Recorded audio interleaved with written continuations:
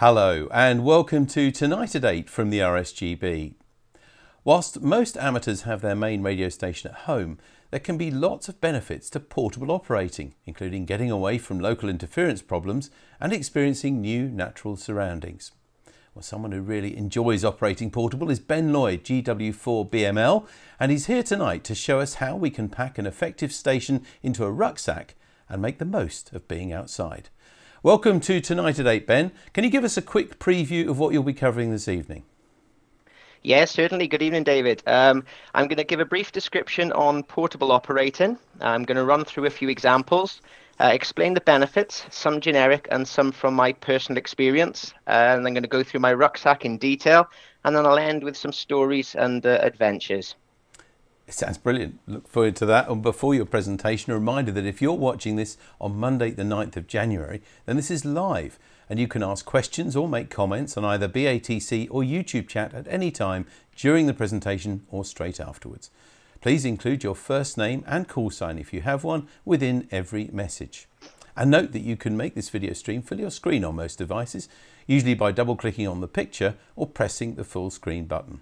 But now back to Ben to find out how you can take your hobby to the great outdoors. Okay, thank you very much. uh, okay, good uh, good e evening, everybody. Um, I'm going to start off uh, with what is portable operating.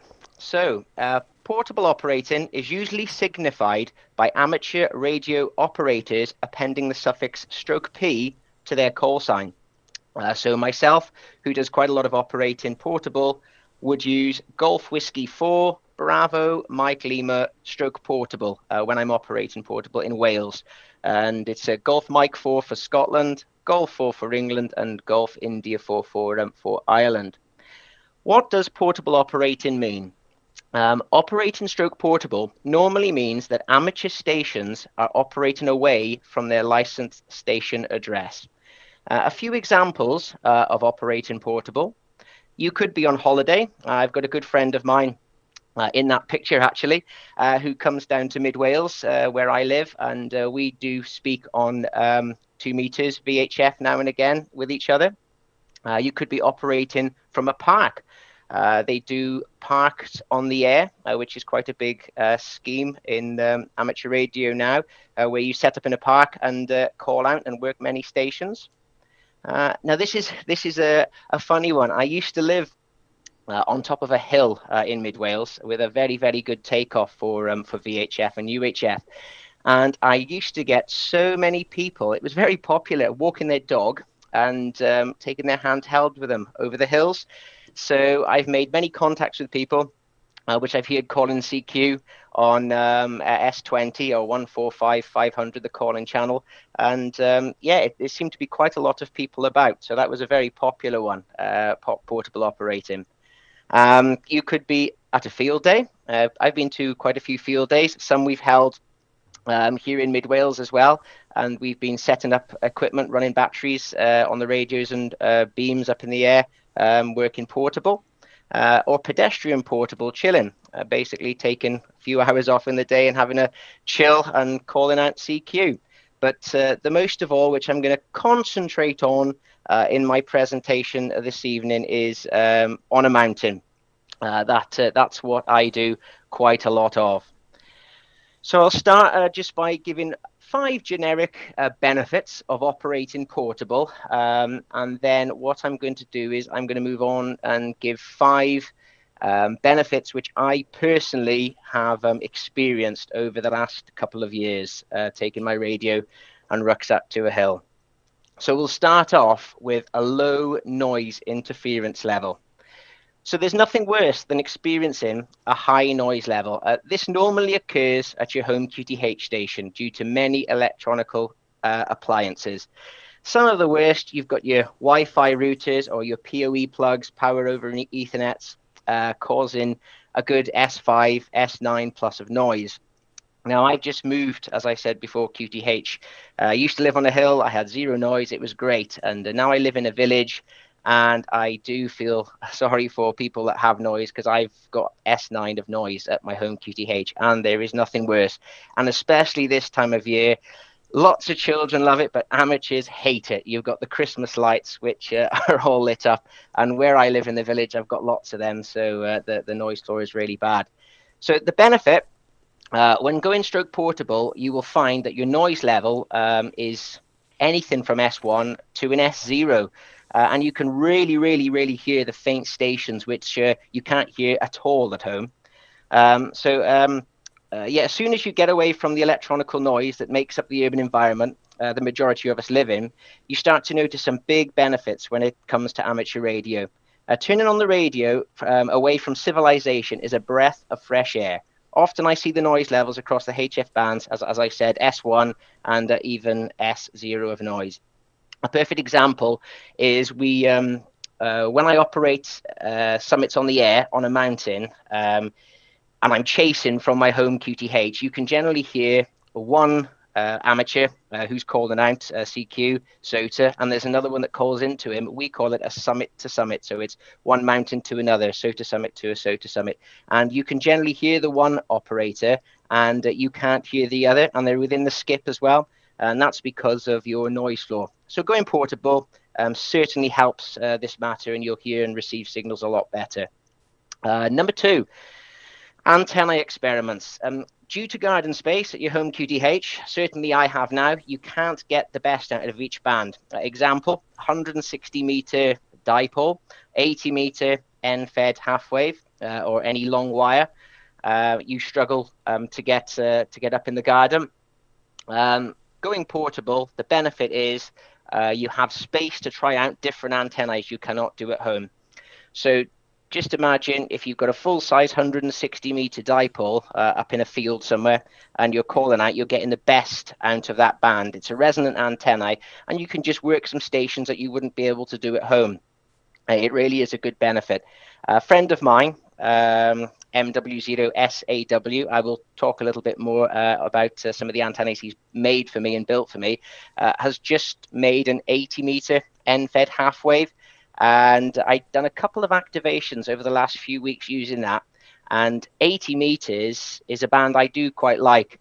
And to go out portable and push 10 watts through a resonant antenna is uh, completely different than using your well, 40 meter end fed half wave and tuning it on summit.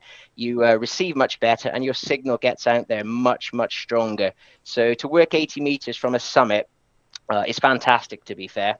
So uh, operating portable, this is this is where you'll benefit with your longer antennas.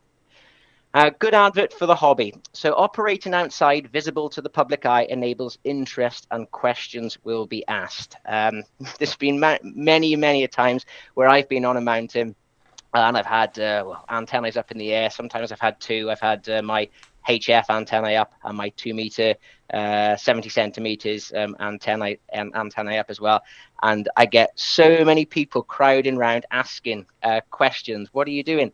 You do get the odd funny questions. Are you fishing or any uh, something like that? But um, no, the, the public eye really, really does come and ask questions. And, and the benefit is uh, when going portable, you receive interest in the hobby and could get more folk wanting uh, wanting to try it.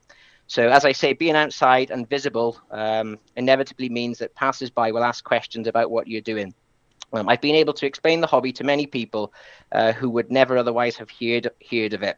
I always take the time to explain what I'm doing in an interesting and accessible way if I'm approached while out portable.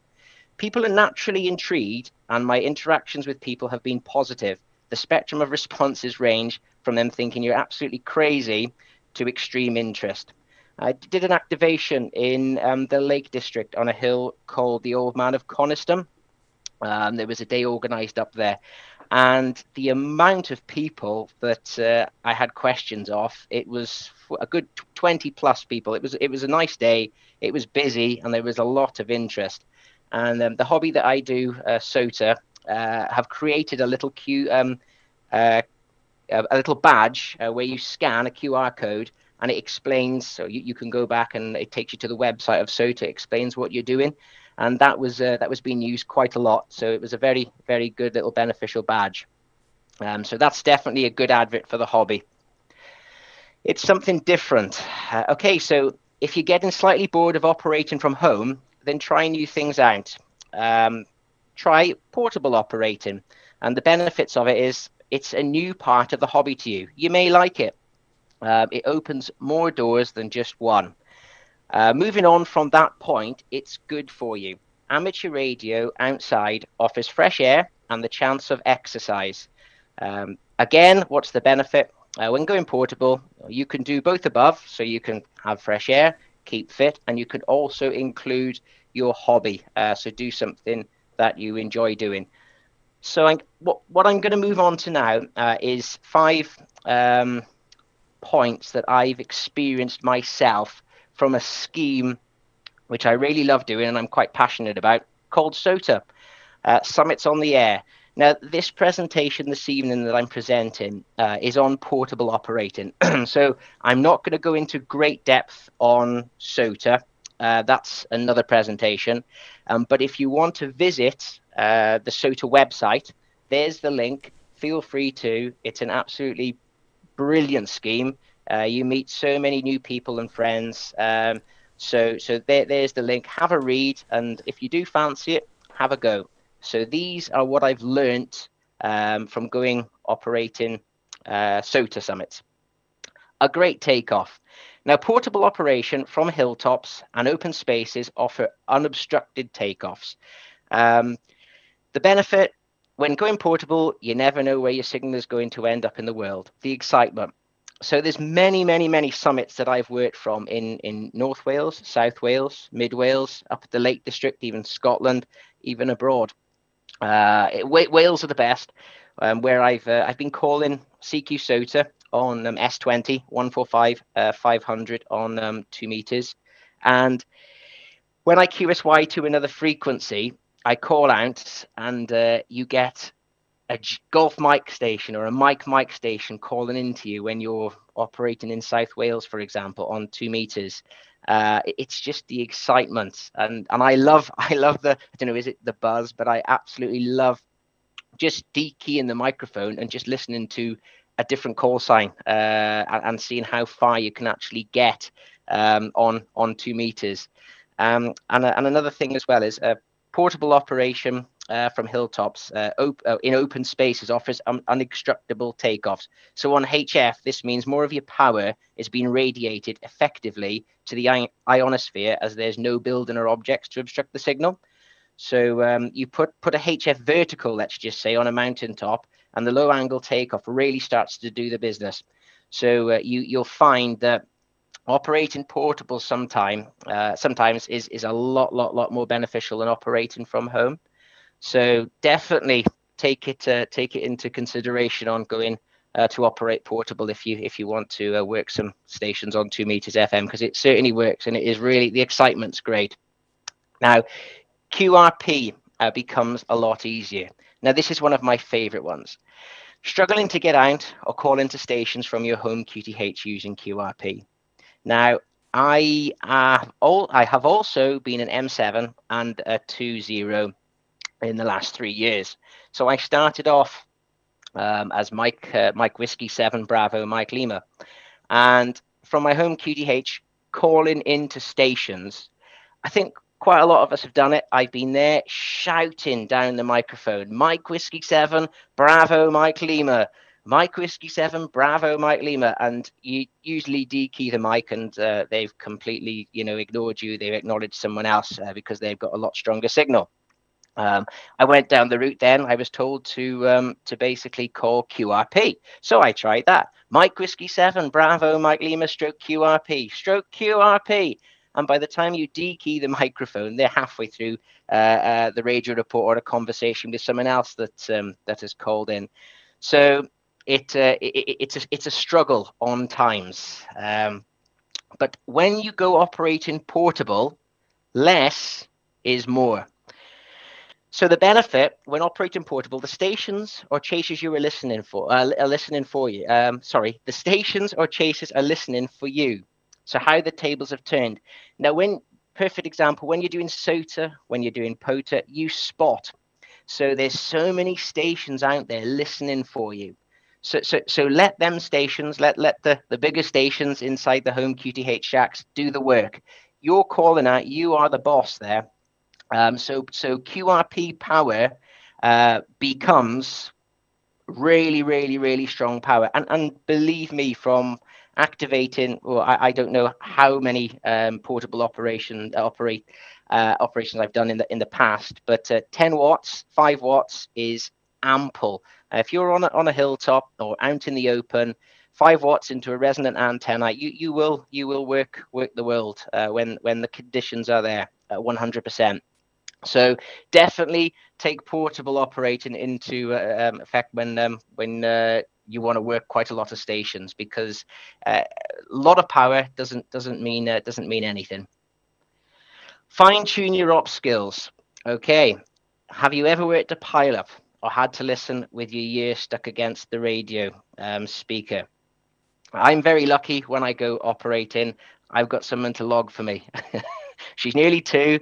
Her handwriting's not the best, but no. Um, basically, when you've got uh, when you've got people calling into you, um, you dekey the microphone, and there could be up to 10, 20, even 30 stations calling at once, uh, and faint stations as well coming through, which you have to stick your ear to your uh, to your speaker on the on the radio. Uh, what's the benefit? When going portable, uh, doing SOTA will certainly improve these skills for you. Now, you, I've called CQ SOTA quite a lot, and I've over the past year, I've kind of got four magic radio reports, I call them. The first one is 5 9. The second one is 5 5. The third one is 4 4. And the fourth one is 3 and 3. So if I've got people calling into me and I can barely hear them, but I can make out what they're saying, they're a 3 and a 3. If I've got someone calling into me, they're not so loud, but they're pretty understandable. That's a 4 and 4 to me. Now, this is all my personal uh, radio reports. If they're coming through to me, but not as strong as all the rest, they're a five and a five. And if they're absolutely booming into me, they're a five and a nine. Now, I've picked these four, four radio reports because when the rain is hitting you from every single angle you can imagine, and when you're on top of a hill somewhere, when the rain is coming down, or the sleet, or the snow, or the hail is hitting the floor and it's bouncing back off and hitting you on your face, hitting you on your nose, going in your eyes, um, you don't really want to be looking at your radio all the time to give the exact possible radio report. Plus, sometimes they can't hear you because the weather is battering your antennae. So, five nine, I always use with uh, quite a lot of my friends will know top of the shop. So uh, if I'm calling five nine five nine five nine and uh, the person on the other end can't hear me, I will just try and shout top of the shop, and I'll just make sure I can get shop out there a few times, and then I'll generally hear nine times out of ten they'll come back to me and say shop. Okay, five nine, thank you, Ben, and then five five because five five, all the fives, all the fives, 55, five, it just works. And four and four is the, the same, and three and three when they're lower down. They're just easier numbers to pick out when um, the other station struggles to hear you.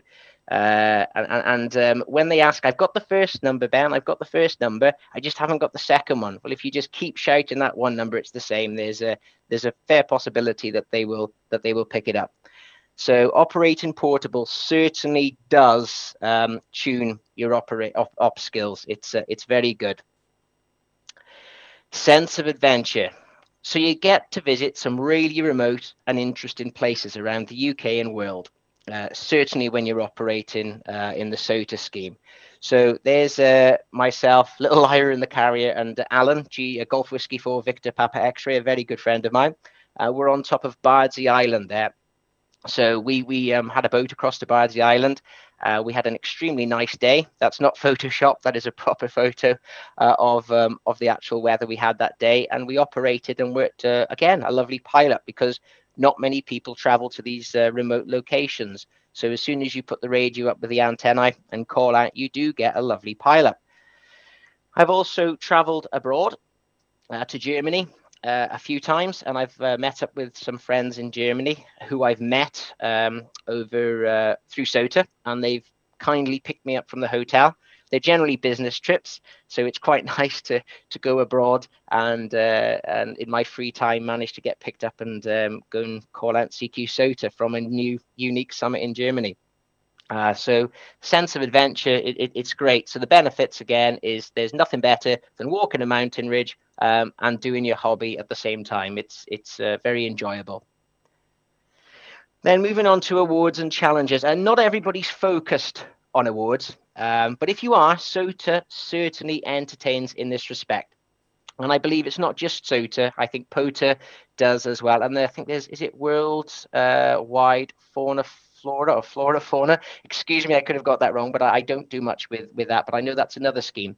Uh, like I say, I know I know everybody's um, not into awards, but if you are, uh, SOTA does give challenges. It doesn't just give challenges that you have to compete against other people.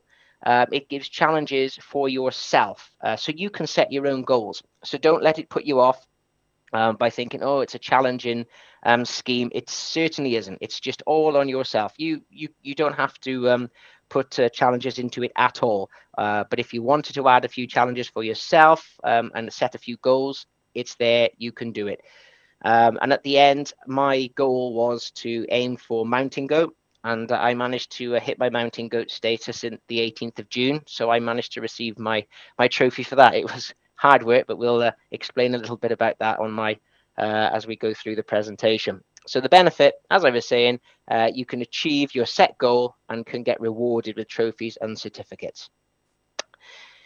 Now, a question I get asked uh, from a summit, what's in the rucksack or what equipment are you using? And I feel not rude because um, I try my best to be as polite as I possibly can when, when I'm on a mountaintop in all kinds of weather conditions. But uh, as I was uh, explaining before, when you're getting rain chucked at you and sleet, and someone asks, "So what? What are your conditions?" It's quite hard now and again to to hear and explain. So I thought this would be a really, really good opportunity to explain uh, what I have in my rucksack. But before I do share this with you, I'm just going to run through briefly of my past uh, when I first started doing portable operating. Um, I began when I was a two Whiskey Zero, uh, Bravo Mike Lima. I began with the Yaesu FT817 uh, ND, which was a fantastic little radio. Uh, and I made my own antennas, which was the uh, dipole, a resonant dipole, a linked dipole uh, for 40 and 20 meters. This worked very well. This was a very, very good setup. But as I started to get into the ski more and more, um, I felt it was too heavy, um, uh, especially on a 10 to 15, if not 20 mile hike in a day. Uh, the second thing was the battery, unfortunately, didn't last as long and it would only push 2.5 watts out from the internal battery. And if I took a, an external battery with me, again, it just added weight. And the other thing was uh, when you're basically uh, on top of a, of a hill or, or, or, wherever you're operating from and something happens the wire like your antenna wire snaps or your the wind is too um, it's it's blowing too hard you can't put your pole up the full length and the the, the vswr isn't uh, 100 100% correct. There isn't a built-in tuner on the uh, the 817 nd so you had to take an external tuner which again added weight.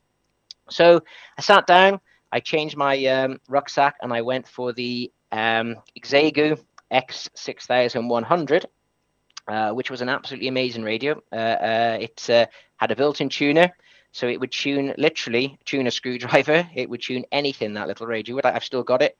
It's it's it is my spare radio. It's a it's a perfect um, radio. Only one thing I found was uh, the receive a little bit. I was struggling on times to hear the faint stations. So when you get summit to summits calling into you from um, uh, well uh, abroad or the UK, the the signal's a little bit down because uh, obviously they are also QRP. Um, so I found that the the receive was just that just couldn't make out some of the words. So after that, I decided to um, to treat myself. So my current rucksack, which has been for the last four months uh, at least, is an Elecraft KX2 uh, radio uh, with the tuner and in external mic. I use a so there's the Elecraft. Uh, I use an RS Pro 14.8 volt lithium ion battery. Uh, that's 14.8 volts. The Elecraft will take up to 16 volts. Um, I've spoken to to them, and that's what's in their specification. And that battery will probably last me on at least five or six summits, operating for about anything from 30 minutes to 45 minutes, uh, pushing 12 watts. So the Elecraft that uh, with the latest firmware installed into it and anything over 12.8 volts will uh, will push 12 watts out the actual radio. And uh, and it, it, yeah it works. It uh, it does a good day for me uh, when I'm out on the hills. So I have a three meter um, RG174 patch lead uh, which connects to my MW0SAW end-fed half wave uh, for 20 for 40 and 20 meters there it is extremely light. Um, and uh, Steve made made that for me, and it uh, it works on 40 and 20. I don't have to use the tuner, um, and it will also um, work on, I believe, uh, 12 and 10, and it it, uh, it, it tunes. I have to tune it on 15. Um, perfect uh, antennae works really well. It goes it, it goes up similar it, it's in an in inverted v that's how i run it. So it goes um literally in the middle. I've got like a little you can see a little um, orange clip which is uh, in my um, in my photo there. Uh, that that stands at the center of my pole and i've got uh, I, I stand about it'd be about 20 20 foot away with my radio. Then i have a Sotabeam six meter tactical mini pole uh, there's a bit of a story about that in a second.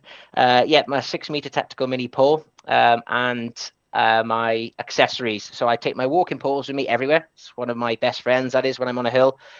One of them is used to prop the, the winder up of my antennae. Uh, my pegs are in the bag, and I've also got my um, antennae guide to um, to hold um, the antennae, uh, the mast up. Sorry.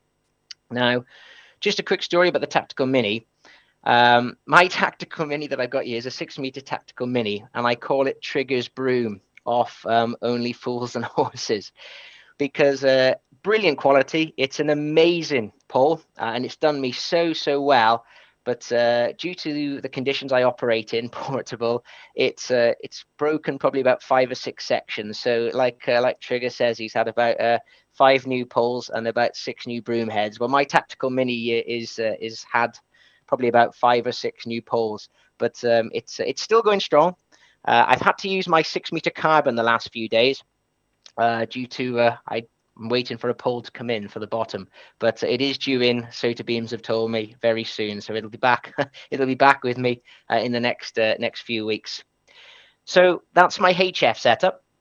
And then moving on to VHF and UHF, um, I use the Yaesu FT65E handheld, uh, five watts, and I've purchased, I think it's two 2,400 milliamp hour battery for the for the back. It comes with a 1,900 milliamp hour battery, and uh, and I purchased the bigger one, there two uh, I think it's yeah two 2.4 amps, two 2,400 milliamps, and that will last me again all day. I do carry a spare battery with me just in case, but it's a fantastic bit of kit. Get quite a lot of good radio reports with my uh, FT65, and uh, and it's worked. It's uh, it's worked uh, quite far on on the hills.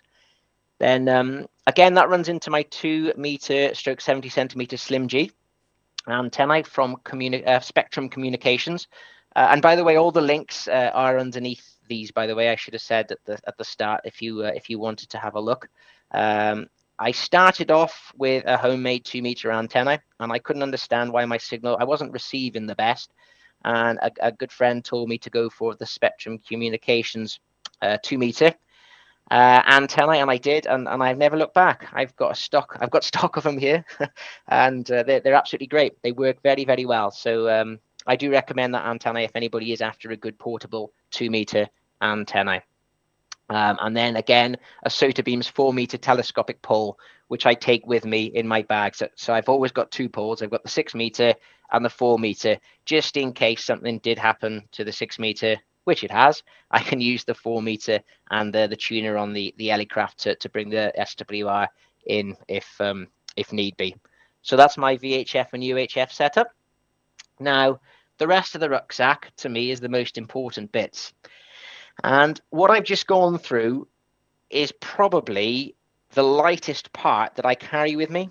uh, the radio equipment doesn't weigh much at all. Uh, it's the rest of it. So I carry medical supplies, uh, quite a lot of medical supplies to uh, supplies to be honest with you, which includes um, a foil blanket, um, plaster spray, and uh, heat pads for your hands, heat pads for your feet. And I always think to myself, I'm quite um, class myself as quite an experienced hiker uh, in quite a lot of different weathers, but you never know who you're going to come across. So you might not need it for yourself. Um, you might come across someone else that needs it. So I always, even if it's a nice day, uh, to be honest with you, in my summer pack, I carry my medical supplies because uh, you never know when you'll need it. Uh, correct clothing, that is the weight of my bag. So I think I take about, well, when the weather's really bad, I probably got about two jackets and three coats in my rucksack with me that I take for wind, for rain, for hail, for wet, uh, and two pairs of leggings because uh, I do tend to go out in all kinds of weather. So the correct clothing is um, is one of uh, the majors that go in my my rucksack, and food and drink. Um, so water and uh, just a few bites and, and snacks. Um, in my opinion, the most important them three are, to be honest with you. And then moving on to keep as safe as you can, I carry a Garmin GPS Pro 66i. Uh, this uh, this is I, I pay, I think it's twelve pound ninety nine a month. And uh, if anything uh, was to happen to me, if I if I fall or if someone else had fallen and I come across them, I've got a little button which I press on the side which says SOS, and um, that that messages my family instantly and also sends a message to the air ambulance and the ambulance service pinpointing where I am and knowing that uh, something's not right. So they start hopefully start to look look out, and that also uh, has GPS on it, so I, I, know exactly where I am. I can share my location with anybody I want to, uh, so they can track me, and it works off satellites as well. So it's it's not like your phone. I've come across many summits before where I've tried to spot, uh, which we spot for SOTA, and um, it's um, it's not worked because I've had no signal or no 4G. Um, this has got InReach built into it, uh, which uses the satellites to transmit, and, and they work very, very well. Uh, wherever I've been so far, this has managed to send a message, and it does spot for me as well on SOTA. So if I've got no coverage at all, I can still get hold of the family to let them know I'm okay, and um, I can also spot, so everybody can call into me, and I can qualify the summit. Uh, another thing is is uh, the Yaesu FT5D, which I carry with me um, on my uh, my rucksack strap, uh, and this has usually got APRS switched on. You'll find APRS is very very good. Uh, sometimes it won't work when you're low down. It's got to pick up um, an, a beacon uh, uh, for for the iGate to transmit your your packet to, to upload onto the internet to, to spot you type of thing but I always keep it on. And you'll usually hear when you're halfway, quarter or three quarters of the way up of a mountain where you're going, you'll hear it starting to beep and make noises, and the packets have been received. So, so um, you've got two uh, options then uh, for safety. So that is another very important um, thing when you're going out portable, really, especially on the hills. Uh, just make sure you carry some safety equipment with you and someone knows where you are. Okay, GW4 BML Portable Adventures. Right, I'm just going to run through a few of my adventures, uh, what I've done over the last um, year. So I'll start off with my uh, trip to Scotland to meet uh, Fraser, Mike Mike Zero Echo Foxtrot India Portable. Uh, when when I first met Fraser, it was uh, we we'd never met. We'd spoken over the radio a couple of times, or I'd called into him on um, SOTA activations, and I said I was coming up to Scotland, and I and I asked him did uh, did he fancy doing a joint activation, and uh, he agreed. So I went up. So it was the first time we met, and he likes Land Rovers, he likes rallying, and he does radio. So we got on like a house on fire. It's three things that I I really enjoy. So um, we went to activate three summits. It was a 38 kilometer um, hike. It started off on a bike, which I found pretty hard. Uh, I can walk, I can hike, I can climb anywhere, but put me on a bike. Goodness me! When I first done the first five kilometers, I I got off the bike. My legs were shaking. I really didn't think I could carry on, but I soon got into I soon got into the into the swing of things. So the first summit we did was Ben Mahoin, uh, GM stroke ES 005 uh, where we uh, we both um, hiked to, and we qualified. Uh, Fraser worked HF, and I worked uh, two meters FM. Then we we walked across, or hiked across um, the the ridge ridges to Ben Macdui, uh, GM ES 001, and we found conditions on Ben Macdui to be not very good, considering it's a 10 point summit and it's the second highest summit in um, in the UK. Uh, and on two meters, it was uh, it was quite quiet. We qualified, but it was quite quiet. Uh, and then the last summit was Carn Mahane, uh, GM ES 013. Now, this is where the fun uh, started. So I set up my two meter station, and Fraser set up HF.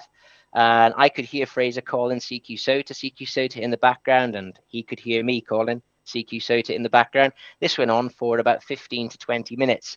Um, there was, um, unfortunately, uh, we received an X-class solar flare of descent proportions. So um, all the bands were dead. We, we just could not. It was an eight-point summit, uh, and uh, we were struggling to qualify. I managed three contacts in the log, and uh, we need four to qualify on SOTA. Fraser managed two contacts in the log, and I think it was about 10, 15 minutes, if not 20 minutes later, uh, 20 meters uh, opened up and we managed to work two. Well, I managed to work one. I shared the microphone with Fraser and uh, Fraser managed to work another one. So it was a very, uh, very interesting trip, but thoroughly enjoyed. And um, yeah, I'd uh, definitely go back up there, but it's it's Fraser's turn to come back down here now. So I, am waiting for, for him to come down. Uh, and then it was the island of Ailsa Craig with a family, again in Scotland. Um, so there the island is. It stands, um, yes, uh, south um, south of uh, Scotland. Uh, lovely island. Um, but the only issue uh, was um, is this me halfway up with little Lyra.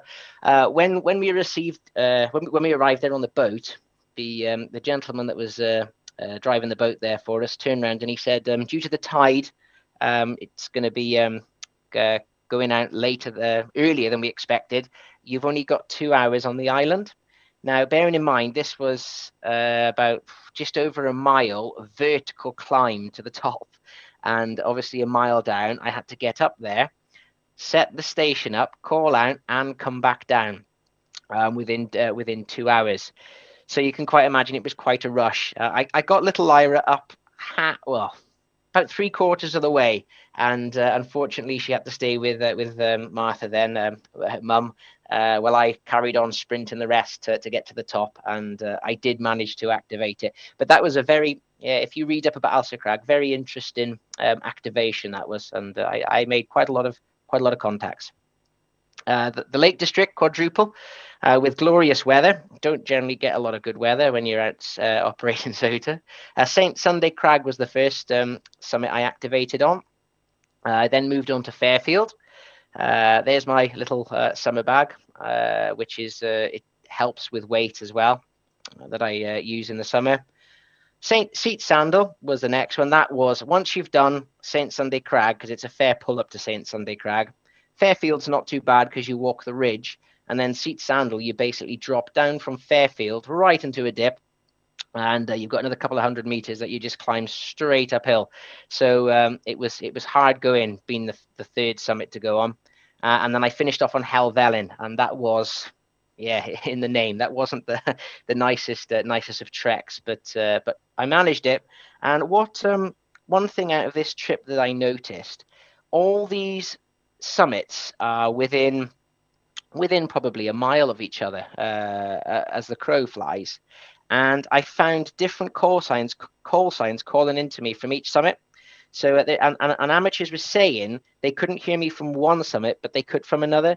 So uh, it's surprising what does get in the way um, of the two meter signal now and again. So sometimes there could be a lift or you're bouncing off something. Uh, maybe I was bouncing off um, another mountain. My signal was to, to, to, get to another contact. But you do find that when you're the same height, uh, but you've just literally moved about a quarter of a mile, uh, half a mile, or even a mile, and your uh, your signal kind of um, disappears to the station you were talking to on the previous. But that was a lovely that was a lovely check. And if there's any any anybody listening that does um, SOTA, I really really do recommend that. It's it's a nice day out in the summer. A very very nice hike. So North, South, and Mid Wales favourites. Um, I went on a mission this uh, last year as well to complete uh, Wales uh, as all the SOTA summits. And my last North Wales summit was Mynydd Rhyd uh, Golf Whiskey November Whiskey number 73. And as I did this summit, I was getting closer towards it. Martha came with me as well, my XYL. And in the distance, I could see, I was sure there was someone standing at the summit. Um, but anyway, carried on walking towards it. And uh, yeah, when I got pretty close, I noticed um, Alid, a very, very good friend of mine, had actually walked to the summit uh, to join me on my last uh, completion of North Wales. And uh, yeah, we, we both had a drink together on summit, which was which was very nice. Um, and then South Wales, I completed uh, South Wales uh, and finished off with Wentwood. And this was a picture illustrating um, how we sometimes have to put our antennae up. And this was a very, very, very overgrown kind of uh, forest. Uh, so yeah, it was quite hard work getting the antennae up, but um, we managed it in the end uh, and uh, did did qualify the summit. But yeah, there, there is some very very awkward places now and again where you have to uh, you have to erect your pole to to um, to put your antennae up. And then uh, I finished finished Wales with Fan, uh, Golf Whiskey Mike Whiskey number 18, which is not far from uh, my house with uh, me, Martha, and little Lyra. And uh, their Lyra is pointing pointing at the summit, telling me where uh, where I've got to go. So yeah, adventures in Wales are are, are always good. Friends and family. Um, you meet so many friends uh, when you're um, in SOTA and, and, amateur radio, full stop. But um, doing SOTA, I've I've met met loads of really really nice people. So that was my last activation in um, south wales at the end where there's um, steve uh, kevin and kevin's xyl liz. They come to meet me and join me which was uh, fantastic. Um, family hike to uh, to climb Tryfan.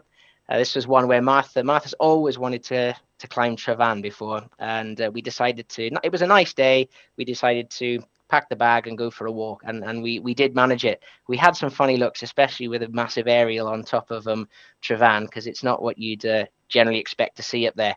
But it was thoroughly enjoyable.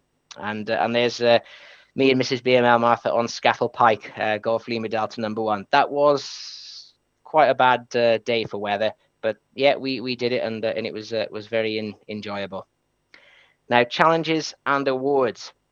Uh, mountain goat activation I did on Y Golfa, which is a local summit to me, Golf Whiskey November Whiskey 061. It's a few miles down the road. Uh, that was uh, 178 summits, which took 365 days to get my 1,000 points. I was determined to get it. Um, so, yeah, that, that was a real good day. I was joined by Alan, Golf Whiskey 4, Victor, Papa X-Ray. He, he um, joined me uh, on that day, which was really nice. And there he is again. Uh, he invited me back to join him on his completion of Wales uh, on a summit called Maiarth in South Wales. So there's the two of us. Again, we did notice some X-class solar flares um, on that day, which prevented the signal. So uh, we were we were um, getting a bit scared at one point, thinking we've walked all this way and um, we wouldn't be able to qualify it. But we did. We did. Uh, we managed it in the end. And um, there was me working my fourth contact to qualify uh, the completion of um, Wales as well. A few weeks later to Alan um, on um, a summit called Wentwood, uh, where was 159 summits in 245 days. So um, it's been it was a busy year last year. Oversea activations and exploring. Uh, I've got to see Germany, a summit called FAST, um, uh, Maritzburg, uh, which was in Hanover. Uh, really, really nice places. I find um, I found out in Germany that they've got a bench uh, on uh, on every summit, which is it's like I call luxury SOTA, which is really good to be honest with you. But meeting fantastic people as well after an activation is is really really good, and you can just catch up on all your um, experience um, over the years of um, activating portable. Uh, mountain goat uh, equals all kinds of weather. Uh, yeah, so um, the, the the weather that you do have to go through, they they, they have a bonus season for SOTA, which runs from uh, December the first up until Feb- uh, March the fifteenth, I think it is, or March the sixteenth. So um, you get an extra three points for every two point and above summit you do. So it, it really, really does um, get people out on the hills to, to operate. So you do find that um, you do get plastered with uh, quite a lot of snow, hail, rain. Um, not much sun uh, this time of year, unfortunately. Uh, that was me with a friend of mine, Richie, at um, Robert Bauer. we uh, we had a couple of foot of snow. It was the day after the big storm we had here in uh, in Wales, Arwen. Uh, and then you do actually get some sun now and again. There's Van uh, in South Wales, number five, a very early morning activation. That was when the sun was rising. So you do get to see some really nice um, sights when you're operating portable. Um, I've also done a charity activation for the NSPCC. So I was, um, uh, well, I signed up to do um, a 5K walk in aid of the NSPCC charity. And uh, don't ask why, it ended up being um, a 15K hike to Snowdon on the 21st of December last year um, in the freezing cold. I think it was minus 14 wind chill on the top with snow and uh, about 30, 40 mile an hour winds. Uh, but I activated on two meters by the trig. I did actually try my best to get on top of the trig, but I, I, I couldn't. I I got there, but I, I failed to activate actually on the trig uh, because uh, it was um, it was just iced over. And there, there I was on top of the Snowdon summit uh, with the uh, summit selfie, as I call it. Uh, managed managed to do the walk, and um, there's waving the flag when I qualified. I did actually um, put the 80 meter end-fed half wave antennae up uh, right on the top of Snowdon, and I worked 80 meters. That was quite a mission, uh, but it was it was a very good experience uh, to have. Uh, and I can't forget about my companion, uh, Mr. Brown, uh, who's been with me on quite a lot of summits. He uh, he's a very very good little dog. He runs around and uh, you'll never run away when, when you're activating. He sits by you, and there he is watching the sunrise uh, in on Moel Ysgafn which is in North Wales, and um, is a great company. And it's always nice to have company with you when you're on the hills, um, especially when you're you're walking miles in a day and there's nobody about. It's pretty remote. Uh, I thought I'd give a little bit of a talk about Countryfile. Um, I was asked by uh, the SOTA to start off with, and I think it was the RSGB were involved to um, set up a portable station on the island of Flatholm to uh, explain about operating portable and to work some SOTA activators. So I really had the easy job. I, I, had to get up, well, say not too easy. I had to get up two o'clock in the morning and drive to Cardiff and uh, get a get get a boat across to Flatholm Island and wait all day, uh, and then and set set a portable station up. Now my station uh, comprised of the the Yaesu FT857, pushing 80 watts into a homemade 40 meter dipole. Uh, this was a massive risk because I didn't know what conditions were like. Uh, I couldn't pack too much because they'd obviously got a lot of stuff on the on the boat that they were taking down. So um, I risked it, and it worked very well. Conditions uh, were good. UK inter-G propagation, so I managed to work quite a few stations, and uh, Fraser was one of those as well, um, which was um, which was yeah good contact. Uh, contesting, just a bit about my contesting work. So I've done quite a lot of portable operating uh, on 145 megahertz FM contesting. Uh, I've got a little quad bike, so I, I, drive up to a local hill. That, that, that's not a SOTA summit, and activate uh, stroke portable uh, with with a battery in my my laptop for for for contesting. Uh, also, I have done contesting from um, from a summit, from local summits, and this is what operating portable um, why operating portable is a benefit when um, when you're contesting, uh, because again, line of sight for two meters. When you're high up, you were many, many more stations, low noise level, and um, I did this for the full year of 2021, and I did manage. I was a 2W0 at the time. I managed to win the um, the 144 megahertz FM uh, AC contest. So going portable definitely does have its benefits uh, when it comes to contesting. Uh, it's a success of um, operating portable. Calling CQ, CQ, CQ, DX 10 meters. Uh, I used to do a lot. I did quite like my um, older radios. So the President Lincoln Mark One, I used to use a lot on 10 meters uh, from um, a local hill of ours. There's my old Freelander with a, with a Sirio 827 right on the top. And uh, yeah, I used to call out CQ, uh, work DX. Uh, I used to run a few nets as well. Um, so it was really, really, really um, interesting to the people that I they spoke to. And again, the takeoff on 10 meters on the top of a hill was was uh, was absolutely brilliant. You'd get quite a lot of American uh, stations calling in when uh, when conditions were good. Um, so I hope to do that again this summer. Uh, I really did enjoy that, especially the 10 meter net. Uh, when 10 meters is working well, when you when you're stroke portable, you will uh, you'll work quite a lot of stations. Uh, again, calling uh, on 20 meters. I've been out in the morning really really early with the Elecraft KX2 pushing 10 watts into uh, the end-fed half wave. I've worked quite a few VK stations, um, Victor Kilo stations uh, in Australia, uh, pushing yeah only 10 watts into into not a vertical, it was into the um, inverted V end-fed half wave. So when the when conditions are there and and you um, you go portable, no lo- noise floor, uh, you will work these stations, and it, and the excitement is uh, yeah it, it's it's really really good, especially when you hear the Victor Kilo coming in or even Zulu Lima. But I'm yet to work uh, a, Zulu Lima station portable but it will come. Uh, time time will uh, it'll come. So just a few tips and, and advice from from portable my portable experience. Um, and if you do actually want to go into operating SOTA, I find when operating on VHF UHF uh, nearby a comms tower, a band pass filter uh, will be extremely helpful. So uh, quite a lot of us have done this activated close to a comms tower, and the comms tower takes the receive, so people can hear you when you're calling out on two meters, and you're just wondering, uh, even 70 centimeters, why you're not receiving any signals. Uh, it's because of the comms tower. So SOTA beams do an absolutely fabulous uh, little two meter bandpass filter, which uh, is very light. You, ba- you, you can um, screw it in depending on what radio you've got. You can screw it into the top, or you can get a little patch lead to screw it in, and then uh, have a have another patch lead coming out to your antennae that certainly works. It cuts all the comms noise out and um, you can have a successful activation. I wish I could have had one of those, um, yeah, a few times when I've been on a, been uh, close to a comms tower. So where to get SOTA Summit routes from? Um, SOTLAS, uh, there's the link there.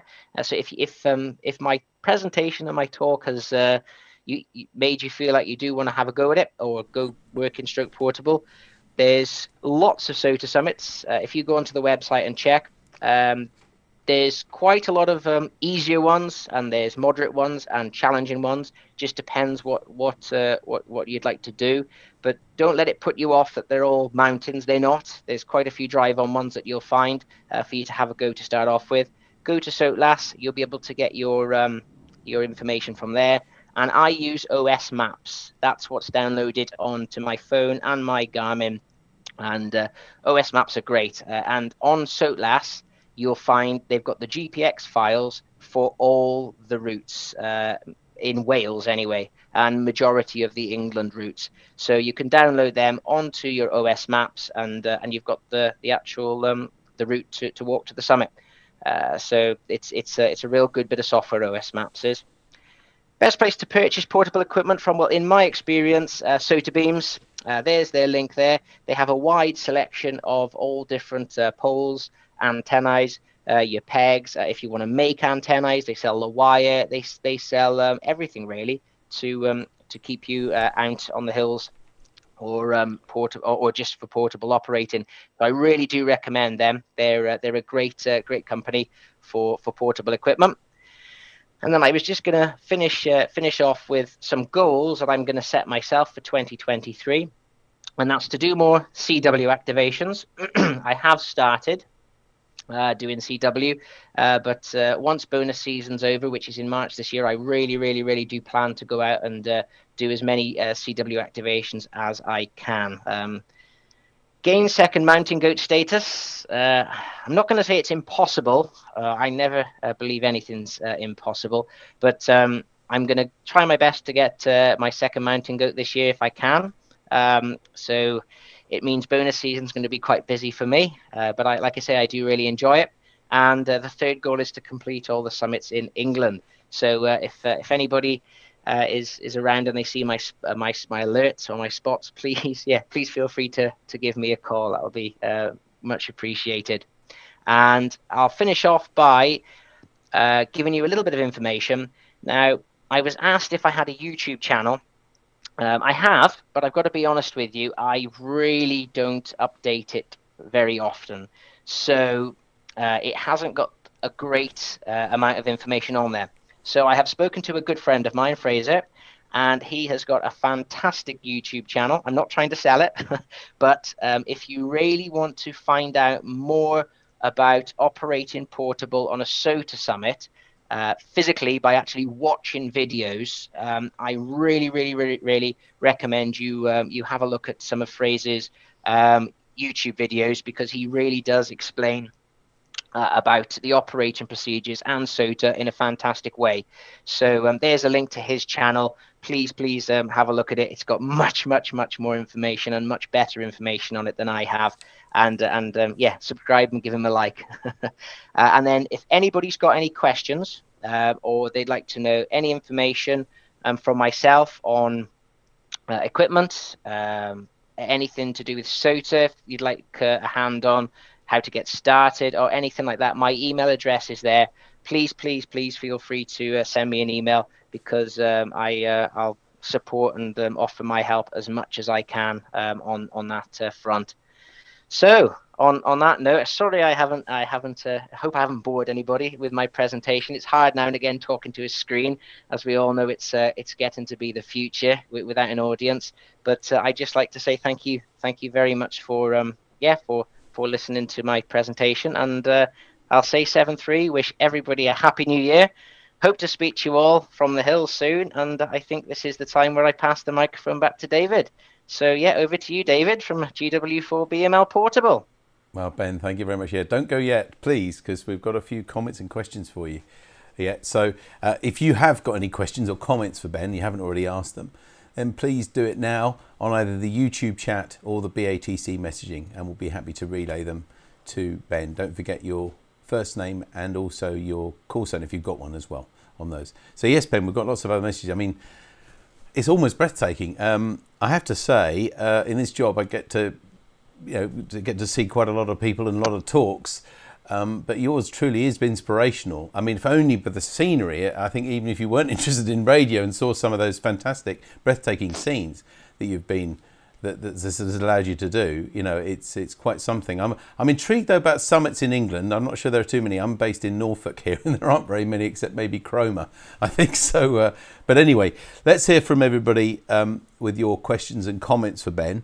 Firstly, from Richard Haynes, who's MW0RHX. He says, I'm not far from Ben in Powys. Um, last time we spoke, I was MW6RBH and you contacted the air ambulance for me on Strata, Florida. Okay, I know Richard uh, very well, but I don't know as he got that mixed up. Um, the air ambulance. I'm not too. I know I've spoken to Richard quite a few times, but I, I don't recall contacting the air ambulance well, for him. I could just add a, a, little suffix to that. He did actually put yeah. in "Hello Esther" in the middle, and I'm not sure. I couldn't oh, see, he might be talking. But yes, I couldn't see any uh, Esther I, in the list, so I thought it was a kind of a typo. So my apologies if I've got that wrong it, it's okay, but I do know that story because yeah, um, I believe that um, I think Esther uh, was with with with, uh, with Raynette and, and Richard is, is as well, and they did help each other out. That is correct, but I wasn't involved in that one. Sorry. Okay, my apologies if I've confused anything there as well, Richard. Um, several other comments though um, from um, Kelly two E zero HDT. POTA seems to have a massive following in the US. Is this gaining traction in the UK? That's Parks on the Air, isn't it? Yeah, that's Parks on the Air. Um, I have actually got quite a few friends um, which do do POTA. It's it's one thing I haven't myself um, got into yet. I, I do call into stations when I know that they're so I chase it, I suppose. Um, but a few friends of mine have um, have recently gone into POTA, yes. But I've always said like parks on the air. I suppose you can you can drive um, to, to, to the actual activation zone and you can activate um, from anywhere. So Parks and Air is a very good scheme like that. But while I'm trying my best to keep active and keep as fit as I can, I will keep trying to use my legs until uh, and, and, then I will I will move on to uh, to POTA in time. But uh, I'm quite enjoying quite enjoying SOTA. And you are in the right place for it after all in Wales, yeah, Yeah. Um, uh, I'm just explaining hills. that because well, for because we've got quite an international audience usually for these uh, webinars, and so um, you know Wales has got rather a lot more hills than uh, many other parts of at least England, anyway. I think. Yes. Uh, you, yeah. you did mention England, and I know a lot of people will be watching from there. What What are your thoughts about places to go in England, where are you aiming to go? You've mentioned the Lake District, um, I believe. Well, the Lake District is going to be uh, one on my list to do. They've got some absolutely beautiful scenery up in the Lake District. Um, I've never, I've never ever been to the Lake District um, to to do any hiking uh, until I started SOTA. I've done quite a lot in Wales before I was uh, even licensed, but um, the Lake District, uh, yeah, beautiful scenery. Um, Scottish borders. Uh, which is just uh, on the English side. I, am um, planning to go there, and Devon and Cornwall uh, there's another place that I need to go to uh, to have a holiday with the family. It, it's very uh, I'm I'm very lucky that my XYL loves her hiking, and we've got a little one, Lyra. She um she loves coming coming with us as well, which is great. So we can kind of have it as a family break. We we do a bit of hiking, a bit of radioing, and do a bit of shopping. So it, it all works out well. Uh, and then North Pennines. So there, there's still quite a lot I've got to do in uh, in England yet. Probably the best part of hundred summits. And yeah, and it was lovely to see that you involved the whole family in a lot of these trips as well. I don't know if I've got the pronunciation right. Tryfan is that? I think there was a picture of you and your two-year-old and on your back, and then your yeah. radios one each side, uh, and your wife next to you. I mean, that's that's quite a trek, and you really have to be quite dedicated, I think, to do that sort of thing, don't you? Well, Tryfan's one of those where, uh, as I s- explained, Martha's always wanted to um, to climb Tryfan. It's one that she's never done. She's done most of them in Wales, but uh, that that is one of the like the top ten that she hadn't done. So we said, right, let's do it. And uh, and Lyra came with us. And there is a path that you can go, you can go to Tryfan, which is uh, relatively uh, safe. Let's just say it's a safe path. And um, yeah, we went on that one. But I did have some looks, especially with uh, nearly a two-year-old on my back. but they were like people were yeah they thought it was really really really good to be fair. But she loves the outdoors and as i said i'm lucky. It's, it's good. Yeah it's very nice isn't it to see that. Um, now paul m7pmk has got a question on lightweight antennas telescope sorry on lightweight telescopic poles for wire antennas. He says that I've read a few operators using a carbon fiber poles from SOTABEAMS, and my understanding is that they were they would recommend them over fiberglass. Have you got any feelings about that? Well, I um, I've always used the Tactical Mini, which is the fiberglass six meter pole. And to let let you in with a little secret, over the last two weeks, um, I snapped my pole. Uh, not two weeks. The last week, I snapped my pole on um, New Year's Day. So my, my six meter pole, and because SOTABEAMS have run out of um, sections that I need, uh, I think I've taken all this stock. Um, the, the, the six meter carbon I got in the in the house unit. It's the first time I've ever used it, and I was I was very impressed. It really really lightened my load. Uh, it's a much much much lighter um, pole. I did find I don't know was it how I, I, I put put the pole up, but I did find the SWR was a bit different on um, on the carbon pole to the tactical mini pole. I had to retune it. Uh, it wasn't wasn't much out, but uh, I, I had to retune it. But for actually uh, erecting the pole and putting your antennae up, I, I do believe the six meter SOTABEAMS carbon pole is probably a bit better than the Tactical Mini, uh, and uh, and it's a lot lot lighter, so it might be coming with me a little bit more. Okay, thanks for that uh, advice. Uh, Steve MW0SAW says, "What size in liters is your rucksack, Ben?" My rucksack is a thirty. 30 32 litre rucksack. It's either a 32 or a 36. I think it's a 32 litre. Uh, it's it's a, the actual make of it is um, a Deuter, a Delta Echo Uniform Tango Echo Romeo. It's a German make Deuter, and I think it's a 32. And you managed to fit everything that you've got there, that first aid kit and everything. It's amazing. Yeah, everything. It's got quite a lot of pockets. It's it's quite a good rucksack, but yeah, it's it's a good good quality, and it is uh, again, it's been probably it's been with me now for yeah, a year, a, a good probably 16 months, and it's still it showing signs of age, but it's yeah, it's it's okay, still good. going strong. Thank you. Actually, related to that slightly, uh, Graham uh, G6 NWC, I believe, from memory. Uh, do you carry used bivy bags or some kind of shelter, some form of shelter? I carry a bothy bag with me but I have never used the bothy bag ever. The only time it's been used is when Lyra, and uh, Martha uh, they used it when uh, when one of the summits was a little bit windy. But I I haven't. I the way I operate, I either find some stones, find a wall um, to shade, or if I am on top of a, a hill where I've got no shade, I will. I've, well, with my, I've got my leggings on. I wear my leggings and my waterproof jacket uh, wherever I go. I'll kind of huddle down uh, in like a little ball, and I'll have the radio literally right in front of me while I'm writing the log quick. So I, I, I haven't haven't ever used a shelter yet. I think you mentioned that you, you do take as well. There's sometimes a a, a, a, a presumably aluminium or something sort of blanket type of thing, a silver blanket. Is that I, right? I have a, I have a foil blanket, but th- that foil blanket's just in a little packet. It's just in case if I ever had a fall or, or uh, I, uh, touch wood. I hope I don't. But if I if I broke a bone or something and I couldn't move, it would keep me warm. And and, and again, if I did ever come across somebody that was on a on a mountain which uh, was in the same condition, I've got it with me so I can wrap them up if that makes sense to to keep them warm. Mm. But um, I was uh, yeah. I, to, sorry, beg your pardon. No, no, no, no, no, no. You go. I was just going to say that I was intrigued. I don't know if I'm the only one watching who wasn't really aware that GPSs have come on so much, and that, that the Garmin one you mentioned, and maybe others as well, have a transmit function for emergency that contacts satellites and things. I, I had no idea that they'd sort of gone that far. I, I haven't really looked at one of those for, for some years now. Um, so is that yeah. something that you recommend for walkers, regardless of whether you're doing amateur radio or not? Presumably, that's a very good kit of, bit of kit to have with you. Yeah, I've like I say, I've, I've always used um, well in, in the past I've used my APRS, and I even even had uh, an iGate, uh, an NOV for an iGate for for APRS here that I, I built and put on top of a of a hill, but it just didn't.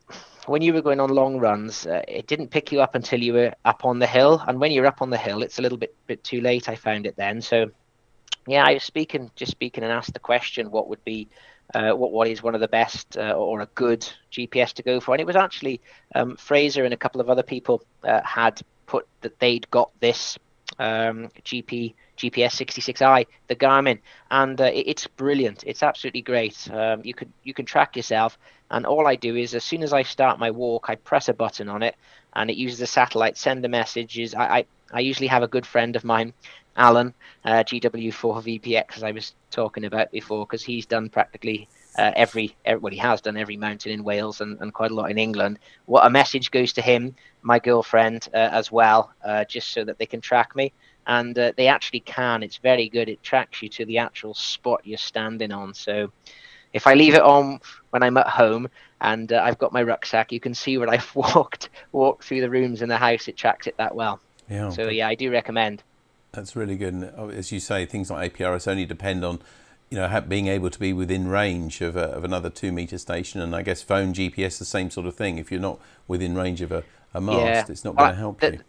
The phone, um, believe it or not, and quite a lot of people maybe that are, that are listening or, or, or will watch that um, the phone signal 4G is, um, is, is is quite useless on top of a lot of hills. I've been to the Lake District on quite a few mountains. I'm on um, it's it's BT it's classed as, but it, it works through EE. That's my um my signal uh, provider on my phone, and uh, yeah, there's many mountains I've been on as high as possible, and I have no signal. Uh, it happened to me at the weekend. Um, I'd got no signal. I couldn't spot, so that's where the GPS comes in handy. You know for a fact when you're on a high spot, it's going to find a satellite in the sky to send uh, to send signals off. So it is it's always good to have because you've got that as a as another option just in case. Yeah, thank you. Um, Nick M7CQX asks, do you orientate your antenna or just randomly set it up? Randomly, I randomly set it up. So uh, my HF antenna is just a complete inverted V. So I've got about 66 foot of wire uh, running into. Um, uh, I shouldn't sell this design because it was uh, it's Steve uh, the MW0SAW that made it, but it's it's a little 49 to one um, unun, which which uh, transformer which has 66 foot of wire uh, that comes out of it, and halfway about yeah 30 33 foot of wire. There's um, a little uh, what do you call it, a clip with, with, with a couple of circles in where it's tied to, and then that goes on top of my pole. So I've got say like 32, 33 foot uh, of wire coming out the one side, 33 the other, and I do it I do it uh, in a dead straight inverted V, and I make make sure both ends are a meter above the ground. So on the on the far end, it's got three meters of um, uh, nylon cord, so three meters of nylon cord when it's uh, on on a on an angle is about a meter above the ground where the wire starts, and then my walking pole holds the um, uh, the winder, uh, which is about a meter above the ground, and it works perfect. Works really, really well. To be fair, I've, I have some really good reports with that, and I've ordered another two from him for my spare stock, just in case.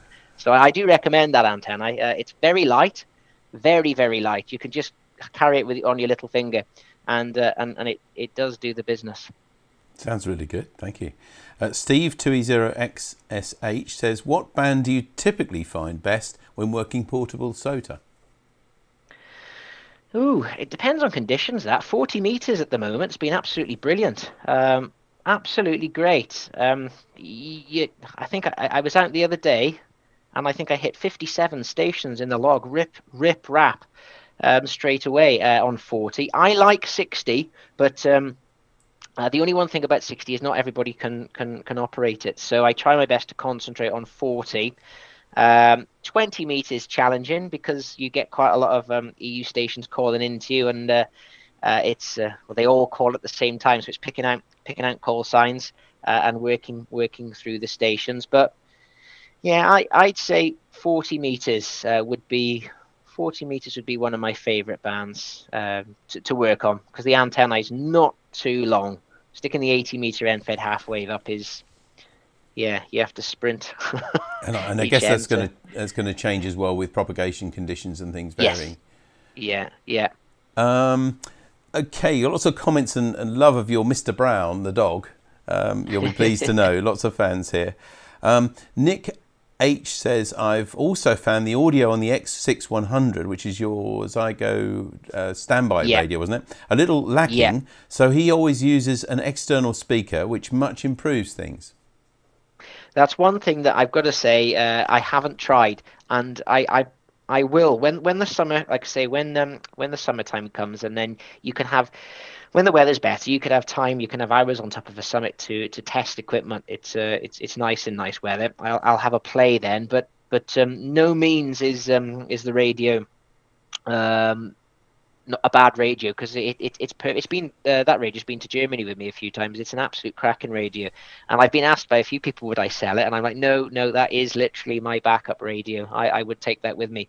The in, the internal tuner is worth a lot, and I think I paid something like 550 pound for it, like 550 pound for a 160 to 10 meter. Oh well, I think it's got um, six meters on it as well. Uh, radio uh, with a built-in tuner with a scope and uh, and a built-in microphone if you needed to, to, to, use it as well, and an internal battery. You, are getting a lot for your money, uh, and it works. Yeah, it does sound really good. Um, Matthew M0ZMS says, Thanks for the presentation. Just started in SOTA, enjoying dragging the girlfriend up many a remote summit and improving my setup every time. I find I learn more and more with each activation that that that is 100% true. When i first started operating it's quite funny when you look back. When i first started operating you'd have thought i was going on holiday when i was walking up a mountain. Uh, it was like i got a suitcase on my back. Uh, i used to pack everything absolutely everything with me. Um, from like a tuner to, to the radio to a spare microphone to two batteries to like three antennas or what if this doesn't work what if that doesn't work? I used to carry a seven meter. I first started off with a seven meter um, uh, dx commander pole oh it's like a meter uh, what does it stand? I think it's about is it uh, over a meter about 1.2 meters standing out your rucksack. Going going up Snowdon with that, I, I that's one of the first activations I did uh, Snowdon with with that, and the amount of looks you get. so uh, Matt, you will 100% uh, take a lot of stuff up at the start. It's just normal. That is normal, and then you'll uh, look back in. I'll give yourself about four four months. You'll look back and you'll think, why did I bother taking all that stuff up? So all, all I take with me now is, like I say, the KX2, the battery, and uh, just my guy and stuff little light pole, and uh, the end uh, end fed half wave, and it's really really light. And I do carry I do do carry a spare antenna with me, but that little winder antenna doesn't weigh, and it, it just it probably the same weight as this pen. So, um, but you you will find Matt, you'll learn a lot as you as you go on. But I hope you enjoy it, and, and if you need any anything or any questions, just yeah, feel free to give me an email. Thank you. I should mention as well at this point that I'll, I'll get the uh, links, some of the links that you've included in your presentation if that's all right, and we'll put it into the notes uh, for the present for this presentation once we put it up on on YouTube as well. Uh, where people can watch it. Because um, Thomas K4 SWL says I missed the first portion of this presentation. So just for you as well Thomas you know the, this will be up and recorded and it'll be there permanently on the RSGB YouTube channel. So you better watch what you've missed. Anyway he says that um, perhaps this was mentioned but I'm curious if you've done SOTA outside the UK and if so how that might differ from Wales um, okay I've done SOTA in Germany um, that's the only country really that I've been uh, I've operated uh, out of uh, abroad, and I've got to be honest with you, it's just like luxury SOTA. The walks are quite flat. Uh, I hope there's nobody listening now because they'll be sending me some nasty messages. But they're uh, yeah they're, they're they're quite flat, and they've got benches on the top. So and some have got shelters and even pubs the one I went to had like a, a public house on the top it, it, with food and a restaurant. It's uh, but I know you you will get harder harder summits than that, but um, they do differ to Wales or very much different to Wales. Um, you can find a one point summit in Wales about three miles to walk. There's um there's one called Gamallt, which is a one point summit in um, I think it's North Wales. Uh, just not far from Dolge- uh, on the on the Dolgellau to Machynlleth Road, uh, so not far from um, Cad- Cadair Idris. And um, yeah, it's a one point summit. And oh my goodness, I'd rather climb Snowdon any day of the week. I'd rather climb Cadair Idris, to be fair, than than climb that. It was just um, about two miles uphill, vertical uphill. It was a horrible climb. Uh, so like the, the, hills we have in Wales they're, they're not the best, let's just say. But uh, the ones, yeah, ones in Germany are quite nice, and I'm hoping to, but I haven't haven't haven't said this yet. But uh, I am planning on planning on going to uh, hopefully Australia and New Zealand in in a month's time. So uh, we'll uh, we'll find out the proper way of operating quite a long way away from uh, from home. So fingers crossed, that is. Well, good luck with that as well. As I said, lots and lots of good comments. You'll be able to look at them yourself after the talk, Ben, but lots of compliments and, and thanks and everything. Uh, also, I mentioned right at the beginning a message which I didn't quite maybe get right. It was about uh, someone called Esther who, uh, or Richard was talking about, yeah. someone called Esther who'd called him out. And we, have got, uh, Esther's actually come on now. Esther, her call sign, GI0AZA, um, and says to Richard and to you, that was an eventful day. It was an amazing to be able to get the air ambulance for you that day following our HF contact. And we were on an, a WAB activation day in Northern Ireland. So there we go. It just shows you how that can uh, yeah, I'll say hello to Esther. Absolutely. Um, uh, there's several people. Just I'm trying to sort of summarise some of these comments there. Uh, ben, do you ever use tablet logging? Uh, that's Esther actually asking that question. Do you ever use a tablet for logging? no, no. And it's quite funny you bring that topic up now because I was on the phone to Fraser last week for about an hour trying to um, trying to uh, go through uh, VK Port-a-Log. he, he uh, what, what it is is I, have downloaded VK Port-a-Log which is a, it's a login function for Android phones. Uh, it's it's just Android only, and you, the stories you hear about it's fabulous. It works brilliant. It works brilliant, but because of the days now and again that I do, you know, you do multiple summits, usually may, maybe even four to, to six, eight summits a day. And you can imagine if you have something like anything from 10 contacts to 50 contacts on each summit, and you're relying on a phone or a tablet to key everything in, and you get home and you find out it's lost it all, you can quite understand the frustration. But no, uh, I, I, was talking to, to, to Fraser about I'm going to try it, I'm going to do it, but I will. I just need to get the guts and the courage to uh, to actually try um, login. But I, I haven't yet, Esther. I am old-fashioned. I use a pen, and I'm still using a piece of paper. That's that's my uh, that's my login technique at the moment. I reckon it might be a bit lighter as well somehow. Yeah. Talking of weight, actually, uh, Chris Hardy's come on and said, "Thank you, Ben. Very enjoyable viewing. Hope to get out with the Clansman soon." Yikes, he says. yeah. I think that's a fairly heavy military radio, I believe. Um, a few other comments. Paul uh, Gibson says, "Pub on top of a, a SOTA. I'm packing my bag and radio now." Um, and um, Kevin. Uh, MW0KXN says how good it is to hear familiar call signs from a summit. Well, who's going to call in first? Christian, Lars, Frank, Don, Alan, Manuel, and of course you, Ben. So uh, there we are. So obviously, people who know you from uh, that, working. That, that, that is another thing as well because you kind of that is another point which I really didn't bring up. Uh, I, I mentioned the friends part of thing, but um, I should actually, because because I didn't want to really base this on just SOTA, uh, as it was a portable operation um, presentation. But like um, you're right, like it, it is like one big big family. Because when you go up onto a SOTA summit, and if you haven't heard these these call signs, it's like it's not an activation, you, you know, because they always call into, and it's real nice when you hear them and uh, and you can have um, you can have a little bit of a natter on air with them as well at the same time. So yeah, I suppose I'd like to thank thank thank them all for, for their support because um, it is great. But you're right there, Kevin. Um, if you haven't heard the the the, the normals, uh, uh, it's it is not an activation. That's right. Well, it's a great way. I mean, we we hopefully all of us get friendship from our hobby, but I mean, you've shown that it can really be fun and, and, and great to get out and, and be active as well um, with Portal operating. Thank you very, very much for tonight, Ben. I think that, that exhausts most of our questions and things there, but said lots of compliments and thanks from everybody who's watched it and all gone, I'm sure, to enjoy this.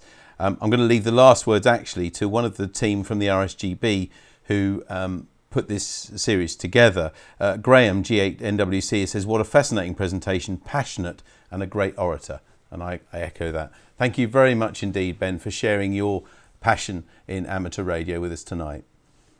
No, thank you very much. It's been a pleasure. Thank Wonderful. you. Thank you. And as I said, that the details and some of the links as well that Ben has put, will be putting onto the RSGB website very soon. But that inclu- concludes this webinar, and thanks once again to Ben Lloyd, GW4BML, and the RSGB team uh, who put this together as well, and also studio director Tammy Palmer, M0TC. We hope you've enjoyed this tonight today and that you'll be able to join us next time when Anthony Luscre K8ZT will join us to talk about QRP operating. And if you'd like to see details of this and other webinars in the series, please visit rsgb.org forward slash webinars, where you can also send us comments and feedback. And before I go, another reminder about the RSGB construction competition, where you still have time to complete projects before the deadline of March 1st, 2023. Entry is free for all RSGB members and is again all online this time, so you'll not have to send your work away to be judged.